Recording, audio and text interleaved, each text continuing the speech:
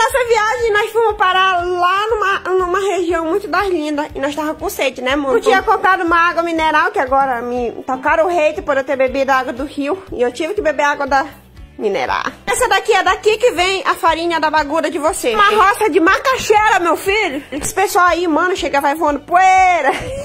Mamãe que fala isso. Outra vila super organizada e olha só essa igreja linda e maravilhosa, igual eu. Uma viagem, o Thiago já tava dando um, um, giro de 360 graus nesse barranco aí, mano, que se engatar barran um barranco na palheta é sal pra nós. E olha só, quem diz que a gente não tem praia, espia aí a nossa praia de barro. Eu já vinha cochilando, porque eu ando igual uma velha, só vinha cochilando e tinha que passar uma água no rosto pra ver se esse sono ia embora. Show, mano! Mostro pra vocês as belezas da nossa casa ribeirinha. Isso daí, mano, é uma casa de show aí que rola o piseiro, a mucura, tudo que tu imaginar. Chegamos no local onde o Thiago Barros teve bolo decorado, esse maravilhoso, entregar o bolo. E olha só, isso daqui é uma cozinha lá, que estava preparando a boia, mano. E eles perguntaram se nós tava com fome, né? E claro que nós não nega. E eu já tinha comido já na viagem.